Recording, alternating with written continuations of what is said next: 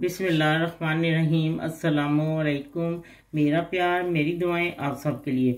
बरसात का मौसम शुरू हो चुका है। पाकिस्तान में तो पहले हो गया, यहाँ पे अब है।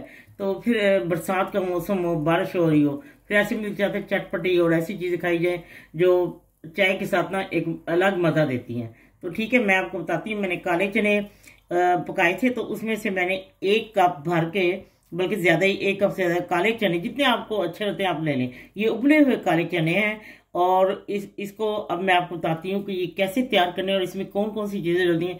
झटपट तैयार होने वाली, जैसे कहते हैं ना इंडिया में कहते हैं लपेटो चन, लपेटू चने, यानी कि उसके सारा मसाला लगा दो। बहुत टेस्टी है, मैं जब भी बनाती हूँ, बहुत ही मज़े के बनते हैं। अब मैं आपको बताती हूँ कैसे झटपट तैयार किए जाते हैं, ठीक है?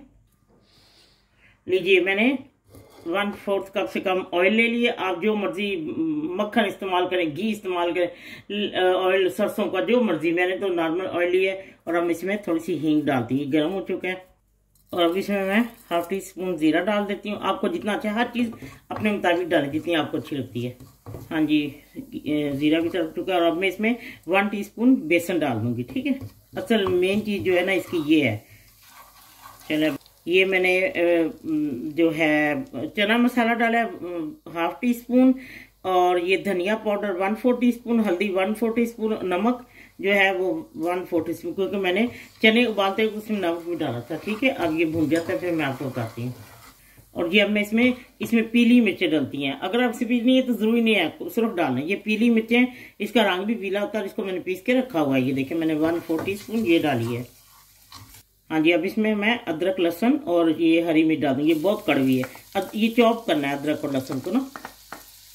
आप जो मिर्च है ना, सब्ज अगर, वो इतनी कड़ी तो बेशक दो तीन डाल दें। आप अपने कम, नमक मिर्च और ये टू टेबल स्पून प्याज बारीक चॉप करके, ठीक है?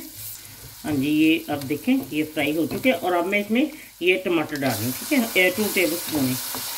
ये ये मैंने पानी का थोड़ा छिटा दिया था वही चने का जो पानी है ना वही डालता है एक, एक टेबल स्पून और अब मैं इसमें कसूरी मेथी डाल रही हूँ वन टी स्पून और मैं आपको बताती हूँ क्या डलेगा और अब इसमें मैं चनों पानी समेत चने भी साथ डालूँगी ठीक है?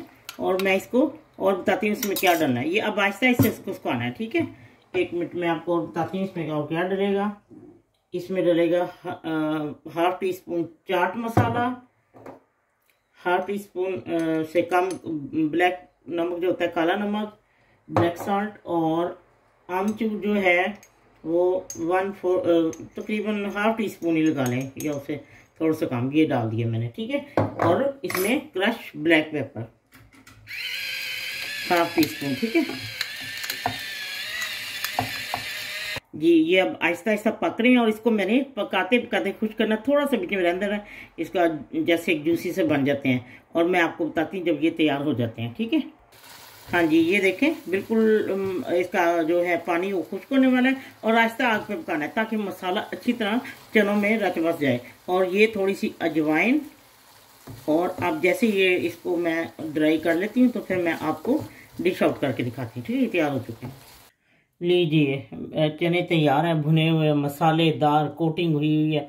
और ये मेथड रही और सॉरी मुझे बताना याद है मैंने धनिया डाला था, लेकिन मैंने उसके डंडल काट के रखे होते हैं ना। और सब खुशबू तो क्योंकि हर को मुझे ताज़ा धनिया तो यहाँ मिलता नहीं है। तो वो मैंने डाले थे, मुझे भूल के आपको बताना एंड पे मैंने डाले थे उतारने से पहले।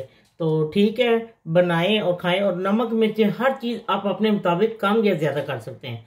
और जब मेहमान घर में आए हों तो आप ये अगर आप के पास चने ये उबले हुए हैं तो जल्दी से ये भी बना सकते हैं। ऐसे मेहमानों को चेक से यकीन करें, बरसात का मौसम है और बारिश हो रही है और साथ आप बरामदे में बैठे हो या बालकोनी में तो चाय के साथ इन चनों का मज़ा लीजिए। अगर आपने ऊपर खाते हुए योगर्ट डालनी है दही तो वो भी बहुत अच्छी लगती है।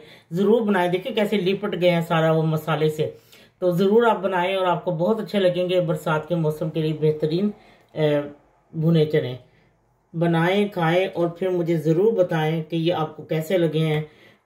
जब आपका दिल चाहे आसान और मज़ेदार खाना खाने को तो आइए ना गुड्डो के ढाबा पर। प्लीज़ सब्सक्राइब करना, लाइक करना और कमेंट्स देना ना भूलें। अल्लाह हाफिज।